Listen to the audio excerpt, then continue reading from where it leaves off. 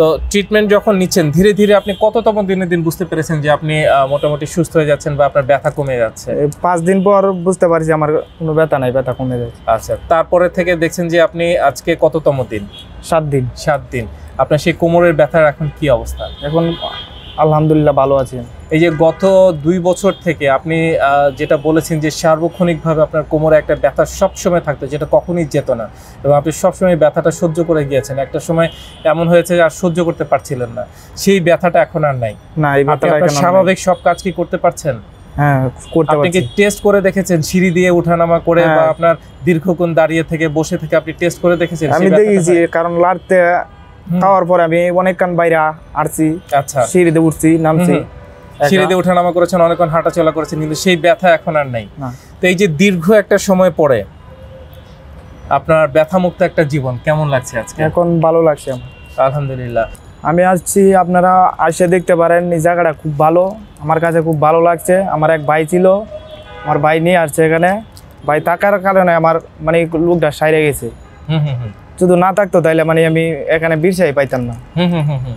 ভাই থাকার কারণে ওনার এই সুবিধাটা হয়েছে। নাইলে এই লোকগুলি আমার ভুগতেই হইতো।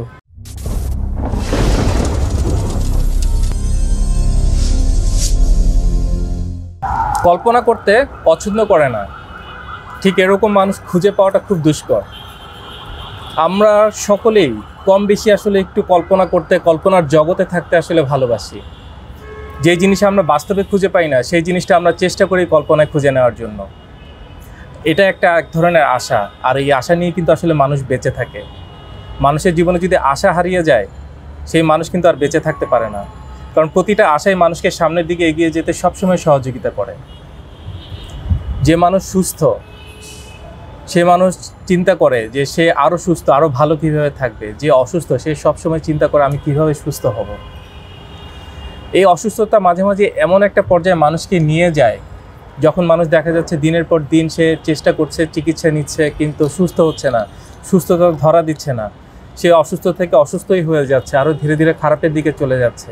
ঠিক তখনই মানুষ দেখা যাচ্ছে যে কল্পনার রাজ্যে নিজেকে হারিয়ে ফেলে। চেষ্টা করে সে, ভাবার চিন্তা করে যে আমি হয়তো যদি সুস্থ হয়ে যেতাম, হয়তো দিন ফুরালে, রাত শেষ হলে আমি যদি দেখতাম যে আমি সম্পূর্ণ সুস্থ বা এমন মিরাকল কিছু আমার জীবনে ঘটে যেত যাতে আমি খুব তাড়াতাড়ি আমি সুস্থ হয়ে যেতাম, ঠিক আগের জীবনে ফিরে যেতাম। সবসময় যে মানুষের জীবনে মিরাকল ঘটে তা কিন্তু না বাট কিছু কিছু সময় আসলে মিরাকল ঘটে। আমরা যখন বাস্তবে সেই কল্পনার জিনিসগুলো আমরা পাই, তখন সেই জিনিসটা আসলে আমাদের আশার অতীত হয়ে যায়। দর্শক, বর্তমান সময়ে আমাদের যে চিকিৎসা ব্যবস্থাটা সেই চিকিৎসা ব্যবস্থাটা এতটাই আধুনিক এবং এতটাই উন্নত হয়ে গেছে। একটা সময়, গত কয়েক বছর আগেও মানুষ যেটাকে কল্পনা ভাবতো, সেটা কিন্তু আসলে এখন বাস্তব। যে ধরনের চিকিৎসা কখনো মানুষ চিন্তা করতে পারতো না, কল্পনা করতে পারতো না, সেই ধরনের চিকিৎসা কিন্তু এখন আমাদের দেশে আছে এবং একের পর এক রুগীরা কিন্তু সুস্থ হয়ে যাচ্ছেন। দর্শক, ঠিক তেমনি আমাদের সামনে আজকে আমাদের সাথে এরকমই একজন ভাই উপস্থিত আছেন। দীর্ঘদিন কোমর ব্যথাজনিত সমস্যায় ভুগেছেন। বাংলাদেশের খুব সুন্দর খুব সুন্দর একটি এলাকায় ওনার বাস কিশোরগঞ্জ নিকলি এবং খুব সুন্দর একটি পর্যটন কেন্দ্র। দর্শক আসুন ওনার সাথে একটু কথা বলি। কি হয়েছিল ওনার সাথে এবং কি করেছিলেন উনি? আসসালামু আলাইকুম। ওয়ালাইকুম সালাম। আপনার নামটা যদি একটু বলেন আমাদের দর্শকদের জন্য। আমার নাম জান মিয়া। জান মিয়া খুব সুন্দর একটি নাম। বয়স কত? বাইশ। বাইশ বছর। কিশোরগঞ্জে কোথায় বাসা? নিকলি টানা নিকলি থানা। আচ্ছা কি করেন? মানে আপনি কোন পেশার সাথে জড়িত? আমি কৃষি কাজ করি। কৃষিকাজের সাথে জড়িত। আমাদের দর্শকদের জন্য কি একটু বলবেন যে আপনার কি হয়েছিল আর ঠিক কত দিন আগে হয়েছিল এই সমস্যাটা? পূজালে বলেছিলাম গা দুই বছর আগে। বোঝা নিয়ে মানে বোঝা নিয়ে যাচ্ছিলেন ক্ষেতের মাঝখান দিয়ে? আইল আচ্ছা, আইল ভাঙ্গে বলেছিলাম গা দুই বছর আগে। আচ্ছা মানে মাথায় ভারী বোঝা ছিল কিন্তু ওটা স্লিপ করে আপনি পড়ে যান। পড়ে গিয়ে কি কোমরে ব্যথা পেয়েছিলেন? কোমরে মানে কোমরটা খালি পটরায় উঠছিল। মানে আপনি বুঝতে পেরেছেন যে কোমরের ভিতর আপনার একটা শব্দ করে উঠেছে। আচ্ছা তারপরে কি হয়েছিল? বোঝা নিয়ে কি আবার উঠেছেন? আবার উঠেছি উঠে বোঝা নিয়ে গেছি নিয়ে হ্যাঁ। কাজ কাম করতেছি কিন্তু ব্যথা ভুতা দেখা দেয় নাই। আচ্ছা। এক বছর পরে ব্যথা দেখা দিছে মানে যখন আপনি পড়ে গিয়েছিলেন ব্যথা হয়তো হালকা পেয়েছেন বাট বুঝতে পারেননি যে এত কঠিন কিছু হয়েছে বা খারাপ কিছু বুঝতে পারেননি। আপনি আপনার স্বাভাবিক কাজগুলো করে গিয়েছেন। যেহেতু আপনি একজন খেটে খাওয়া মানুষ পরিশ্রমী শরীর সেই জন্য হয়তো আপনার শরীরটা ঠিক সেই সময় আপনাকে জানান দেয়নি যে আপনি এত বড় একটা প্রবলেম হয়েছে। আমরা আপনার এমআরআইতে যেটা দেখতে পাচ্ছি আপনার পিএলআইডি হয়েছিল L four and five so পরবর্তীতে কি হয়? এক বছর পরে এক বছর পরে মানে ব্যথা দেখা দেয় খার হয়ে থাকতে পারি না ব্যথা করে বসেও থাকতে পারি না বেশিক্ষণ ব্যথা করে। আচ্ছা। মানে কোনো কাম কাজ কোনো কিছু করতে পারি না। বুঝতে পেরেছি। তারপর ভাগলপুর গেলাম গিয়ে সেরা এরস্তা করাইছি। ডাক্তার বলছে আড্ডি ফাইটে গেছে। আচ্ছা তারপর মানে যখন দেখছেন যে ব্যথা সহ্য করতে পারছেন না তখন নিকটস্থ হসপিটালে যান। এবং ওখানে যাওয়ার পরে ওনারা আপনার এক্স রে করেন। এক্স রে করার পরে বলেছেন যে হার্ট ফেটে গিয়েছে। তো সেটার জন্য প্রাথমিকভাবে কি ধরনের ট্রিটমেন্ট দিয়েছিলেন আপনি? মানে ট্রিটমেন্ট দেয় নাই খালি ওষুধ লিখে দিছে খাওয়ার জন্য ওষুধ খাইছি বাড়িতে। আর বলছে একটা ব্যাগ দিছিল গরম। পানিতে চেক লওয়ার জন্য। দিছে কোনো কাজ হয় নাই। আচ্ছা। অনেক দিন ধরে বুক কতদিন? ওষুধটা খেয়েছিলেন কতদিন? ওষুধটা খেয়েছিলাম তিন মাস। তিন মাস। কিন্তু দেখছেন যে কোনো উপকার হচ্ছে না বরঞ্চ আরও ধীরে ধীরে খারাপের দিকে চলে যাচ্ছে। আর ব্যথা বাইরে আসছে আমার। আচ্ছা। মানে এই যে দাঁড়িয়ে থাকলে যে কষ্ট হচ্ছে বা বসে থাকলে কষ্ট হচ্ছে সেই জিনিসটা আরও তীব্র আকার ধারণ করেছে। এবং আপনি আপনি যেটা বলেছেন আপনি কৃষিকাজের সাথে জড়িত সেই কাজগুলো তখন আর ঠিক মতো করতে পারছিলেন না। আচ্ছা তখন কি করেছেন? তখন মানে আমার একটা ভাই আছে ঢাকায় তাকে ফোন দিলাম। উনি বলল এখানে একটা ভালো ডাক্তার আছে উনি ভালো হয়েছে। তারপর উনি আমার এখানে নিয়ে আইছে। ও আচ্ছা আপনার এলাকায় একজন বড় ভাই ছিলেন যিনি কিনা ডক্টর মোহাম্মদ শফিউল্লাহ প্রধান যিনি বিশিষ্ট বাদ ব্যথা and pain paralysis and refugee specialist ওনার কাছে ট্রিটমেন্ট নেন এবং উনি সম্পূর্ণ সুস্থ এবং ভালো আছেন। আচ্ছা এবং ওনার সাথে যখন আপনি পরামর্শ করেন উনি পরামর্শ দেন যে যেহেতু উনি ভালো হয়েছেন আপনাকে একটা পরামর্শ দেন যে ওনার কাছে যাওয়ার জন্য। তো স্যারের কাছে যখন প্রথম আসেন স্যার আপনাকে দেখেন কি বলেছিলেন? বলেছিলেন এমআরআই করতে হইব। হুম হুম হুম। এমআরআই করে আনার পর স্যারে বলছে ভর্তি করতে হইব। আচ্ছা। সাত দিনের জন্য তারপর ভর্তি থাকি ভর্তি থাকার পরে মানে কয়েকদিন ভর্তি থাকি কোনো কাজ হয় না ব্যথা বাড়ছে। মানে তারপর প্রথম দুই তিন দিন আপনি দেখছেন যে ব্যথা আরও বেড়ে যাচ্ছে। বেড়ে যাচ্ছে। তারপর যখন একটা ইঞ্জেকশন দিল হুম হুম হুম। তারপর ব্যথা কমে গেছে দুই দিন পর। আচ্ছা ব্যথাটা কমে গেছে। তো ট্রিটমেন্ট যখন নিচ্ছেন ধীরে ধীরে আপনি কত কততম দিনে দিন বুঝতে পেরেছেন যে আপনি মোটামুটি সুস্থ হয়ে যাচ্ছেন বা আপনার ব্যথা কমে যাচ্ছে? পাঁচ দিন পর বুঝতে পারছি আমার কোনো ব্যথা নাই ব্যথা কমে যাচ্ছে আচ্ছা তারপরে থেকে দেখছেন যে আপনি আজকে কততম দিন? সাত দিন। সাত দিন। আপনার সেই কোমরের ব্যথার এখন কি অবস্থা? এখন আলহামদুলিল্লাহ ভালো আছি। এই যে গত দুই বছর থেকে আপনি যেটা বলেছেন যে সার্বক্ষণিকভাবে আপনার কোমরে একটা ব্যথা সবসময় থাকতো যেটা কখনই যেত না। এবং আপনি সবসময় ব্যথাটা সহ্য করে গিয়েছেন। একটা সময় এমন হয়েছে যে আর সহ্য করতে পারছিলেন না। সেই ব্যথাটা এখন আর নাই। না এই ব্যথাটা। স্বাভাবিক সব কাজ কি করতে পারছেন? হ্যাঁ করতে আপনি কি টেস্ট করে দেখেছেন? সিঁড়ি দিয়ে উঠানামা করে। বা আপনার দীর্ঘক্ষণ দাঁড়িয়ে থেকে বসে থেকে আপনি টেস্ট করে দেখেছেন আমি দেখেছি কারণ লাড়তে। খাওয়ার পরে আমি অনেকক্ষণ বাইরে আসছি আচ্ছা। সিঁড়িতে উঠছি নামছি। হুম, সিঁড়ি দিয়ে উঠানামা করেছেন অনেকক্ষণ হাঁটাচলা করেছেন কিন্তু সেই ব্যথা এখন আর নাই। তো এই যে দীর্ঘ একটা সময় পরে আপনার ব্যথা মুক্ত একটা জীবন কেমন লাগছে আজকে? এখন ভালো লাগছে আলহামদুলিল্লাহ। বিয়ে তো করেছেন। জি। আমরা জানি যে আপনার সন্তান এসেছে মাত্র চল্লিশ দিন বয়স। তো এই যে পরিবার পরিজনের কাছে যাবেন নতুন অতিথির কাছে আবার একটা সুস্থ স্বাভাবিকভাবে ফেরত যাবেন তাদের সাথে সুন্দর সময় কাটাতে পারবেন।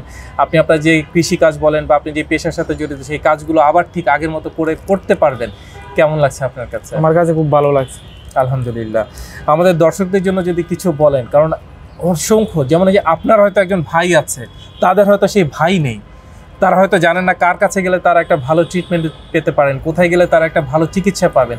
তাদের জন্য যদি কিছু বলেন। আমি আসছি আপনারা আসে দেখতে পারেন এই জায়গাটা খুব ভালো আমার কাছে খুব ভালো লাগছে। আমার এক ভাই ছিল আমার ভাই নিয়ে আসছে এখানে। ভাই থাকার কারণে আমার মানে লোকটা সাইরে গেছে। হুম হুম হুম। শুধু না থাকতো তাইলে মানে আমি এখানে বিরসাই পাইতাম না। হুম হুম হুম হুম। ভাই থাকার কারণে ওনার এই সুবিধাটা হয়েছে। নাইলে এই লোকগুলি আমার ভুগতেই হইতো। আপনারা যদি কি আসতে চান তাইলে আসতে পারেন, আইসে দেখে যেতে পারেন। আলহামদুলিল্লাহ। দর্শক, আমাদের এই জান মিয়া, দেখুন, উনি একজন খেটে খাওয়া মানুষ এবং পরিশ্রমী একটা মানুষ। দুর্ঘটনা আসলে সবার জীবনে যে কোনো সময় ঘটতে পারে, এটা আসলে বলে কেউ হয় না। বাট দুর্ঘটনা হলে যে আমাকে সারা জীবনের জন্য পঙ্গু হয়ে যেতে হবে, আমাকে সারা জীবনের জন্য বাসায় বসে থাকতে হবে, আমি সমাজ থেকে সম্পূর্ণ ডিটাচ হয়ে যাব, এরকম কোনো কথা নেই। সুস্থতা আমাদের অধিকার। এবং ভালো হওয়াটা, ভালো সেবা পাওয়া, ভালো চিকিৎসা পাওয়া আমাদের অধিকার। এবং সেই চিকিৎসা এখন আমাদের দেশেই আছে। আমরা কেন বিদেশের চিন্তা করব। আমরা কেন চিন্তা করব যে আমাকে, আমি অসুস্থ হয়েছি, এর হয়তো কোনো চিকিৎসা নেই, সারা জীবন আমাকে এভাবে পড়ে থাকতে হবে? এবং আমরা এরকম অনেক পেশেন্টকে পাই যারা ভাবেন যে তারা নিয়তি ধরে নেন যে এটাই আমার নিয়তি, এটা আমার একটা অভিশাপ। আমি হয়তো জীবনে কোনো পাপ কাজ করেছি, সেটা ফল আমি পাচ্ছি, এটা আমাকে ভুগতেই হবে। না, এটা আসলে সম্পূর্ণ ভুল একটি কথা। চিকিৎসা করান সুস্থ থাকেন ভালো থাকেন। সুস্থ থাকার যে কি আনন্দ সুস্থ না হলে সেটা বোঝা যায় না। আশা করব সবাই আমাদের কাতারে চলে আসবেন। ধন্যবাদ আপনাদের সকলকে। আসসালামু আলাইকুম। আপনাকে অসংখ্য অসংখ্য ধন্যবাদ। আসসালামু আলাইকুম। ওয়ালাইকুম আসসালাম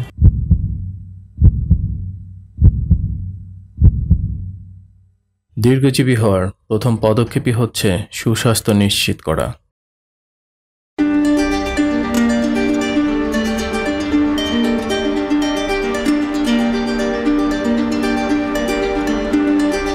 দেহ ও মন ভালো থাকলে ভালো থাকে স্বাস্থ্য। আমাদের রয়েছে আধুনিক যন্ত্রপাতি। সঠিক ও স্ট্যান্ডার্ড মানের প্যাথোলজি পরীক্ষার নিশ্চয়তা। আমরা রোগীদের প্রতি খুবই যত্নশীল ও আন্তরিক।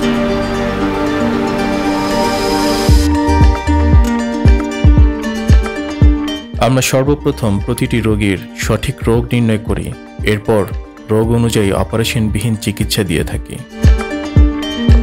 আমাদের প্রতিটি ডক্টর, নার্স ও থেরাপিস্ট প্রশিক্ষণপ্রাপ্ত ও দক্ষ। আমরা প্যারালাইসিস রোগীদের নতুন করে চলতে শিখাই।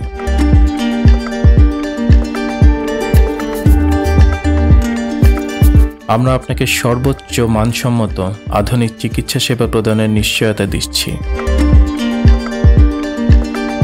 আমরা বিশ্বাস করি আপনি এখানে আপনার নিজ পরিবারের মতোই সেবা পাবেন।